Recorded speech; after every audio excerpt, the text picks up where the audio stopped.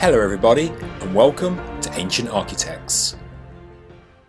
In one of my previous videos, I discussed a theory put forward by Professor Ivan Watkins that states that the ancient people of the world were able to cut stone by harnessing the power of the sun.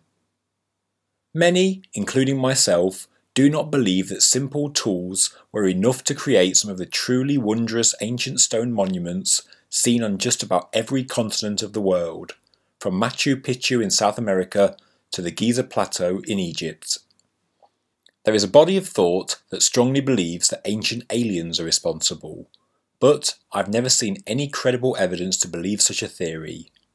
Of course, you can interpret ancient writings, images, and structures in a number of different ways, but I believe there was once a far more advanced civilization that collapsed at the end of the last ice age, the remnants of which became scattered around the world. One thing is for sure, certain ancient monuments do show advanced methods of stonework, but I believe that it wasn't due to the use of electricity and power tools, but a more efficient technology that harnessed natural forces such as the sun, wind, water or sound. The technology has not been recorded in history, but if natural forces were harnessed, there wouldn't be much evidence recorded in the archaeological record, apart from the products of that technology, which is what we see in the form of perfectly drilled granite, intricate diorite vases, and perfectly fitting irregular stone walls. You can't just drill or shape stone in the way you can wood or metal, especially hard stones like granite or diorite, as they are made from extremely hard, interlocking minerals, that wear down tools before any real progress can even be made. The ancient stone and metal tools that we are told were used would have very little impact on hard igneous rocks, so archaeology is certainly missing something. In the modern age, it takes diamond tipped tools and lots of cooling fluid to achieve the feats of stonemasonry that we see in the distant past, and even now it is a relatively slow and difficult process. Which brings us to another theory for how they achieved it, by harnessing the power of sound. Tuning forks, vibrations, sonic drilling, and acoustic levitation are all ways that sound can be utilised for technological gain, and are all scientifically feasible using not just modern but ancient methods and materials. So how does sonic drilling work? Well, in simple terms, when sound vibrations of a specific frequency are sent through a drill bit, or even through something as simple as a metal pipe, it can vibrate in such a way to act like a very high frequency jackhammer. The drill barely needs to turn, as the vibrational impacts and shattering do the job. Compared to conventional drilling, the method is actually faster, puts less wear on the tool bit, and takes less energy. Conceivably, you can even turn the handle of a large tuning fork into a cutting rod, whether a drill tube or a drill bit. Even a copper tube could conceivably cut into granite using this method. To turn a tuning fork into a sonic drill, the resonant frequency of the cutting rod must match the frequency of the fork that is attached to it.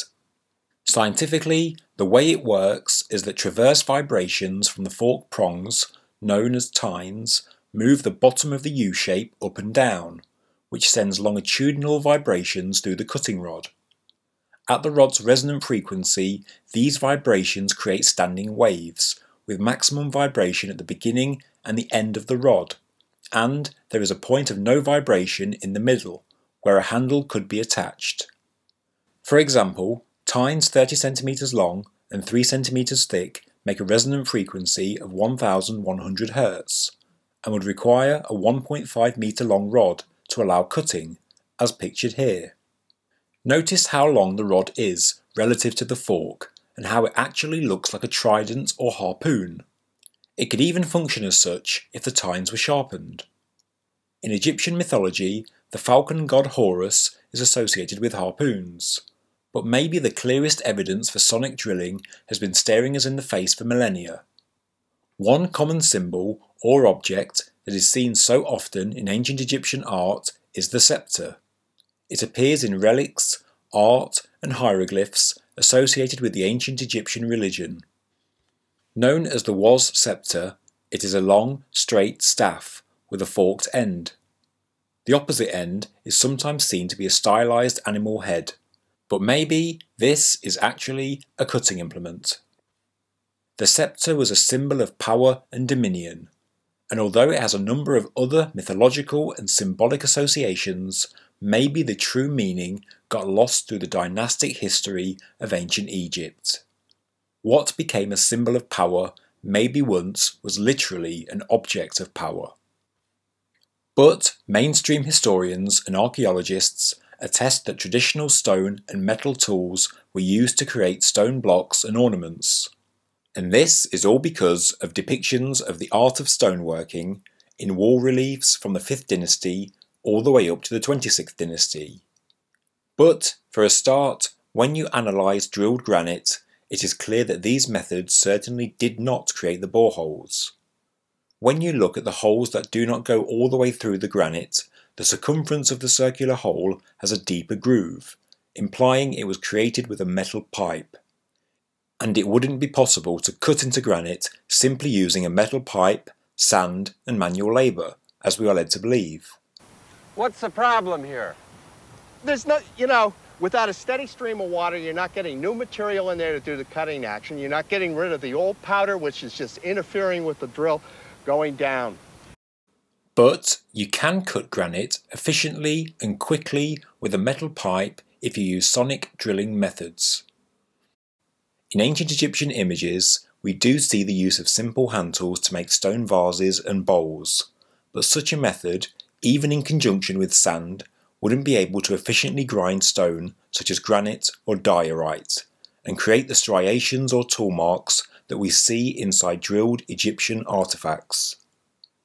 Furthermore, the most amazing and most difficult stonework created from the hardest stones are usually Old Kingdom, predating the 5th dynasty, and many were actually pre-dynastic. There is no doubt that the stonework from the 5th dynasty onwards could have been created from the simple stone tools shown, as the rock used to make such artifacts was usually softer, such as alabaster, sandstone, and limestone. The oldest depiction of a rock drill is a hieroglyph known as U24 in Gardiner's 1957 guide. This is first seen in a 3rd dynasty tomb at Saqqara. Maybe the hieroglyph is actually depicting a tuning fork tool and not a depiction of a traditional hand crank rock drill, as we are told. Some researchers believe they have found ancient Egyptian carvings of two tuning forks attached by wires on a statue of Isis and Anubis, shown here. This is one way you could get them to resonate to a specific frequency for a prolonged amount of time to cut stone, without hitting them with a hammer. Interestingly, on the website, keelynet.com, there is an email that was sent to the website that stated, Do you know about the tuning forks which were discovered by Egyptologists who, presumably, because they were unable to ascribe a utility to these items, deemed them to be anomalous. Some years ago, an American friend picked the lock of a door leading to an Egyptian museum storeroom. Inside, she found hundreds of what she described as tuning forks. These ranged in size from approximately 8 inches to approximately 8 or 9 feet overall, and resembled catapults but with a taut wire stretched between the tines of the fork. She insists, incidentally, that these were definitely non-ferrous, but steel. These objects resembled a letter U with a handle, a bit like a pitchfork, and, when the wire was plucked, they vibrated for a prolonged period. It occurs to me to wonder if these devices might have had hardened tool bits attached to the bottom of the handles, and if they might have been used for cutting or engraving stone, once they had been set vibrating. Of course, I have no way of verifying this email that was actually sent in 1997, but it is certainly interesting in that it confirms the carving on the statue of Isis and Anubis of two tuning forks connected by wires. There is also this image from a Sumerian cylinder seal showing a musical scene and a musician is clearly seen holding a tuning fork. The technology, I'm sure, is ancient and not an 18th century invention as we are led to believe. Whatever the truth, independent researchers have proved that you can bore holes through solid rock with copper tubing using sonic drilling methods. And with new research into ancient megalithic sites across the world, we are finding out that acoustics were widely understood by the ancients and were certainly taken into account when building stone structures. This relatively new line of archaeological research is known as archaeoacoustics and is observed at sites such as Stonehenge in England, Adam's Calendar in South Africa, and Göbekli Tepe in Turkey, not to mention the Great Pyramid of Egypt. They all share unquestionable acoustic properties that could well have amplified sound waves to vibrate forked tools at a constant pitch and allow the seemingly advanced method of stone cutting that has eluded historical researchers for so long. Thank you for watching this episode of Ancient Architects. Please subscribe to the channel, please like this video, and please leave a comment below. Thank you very much.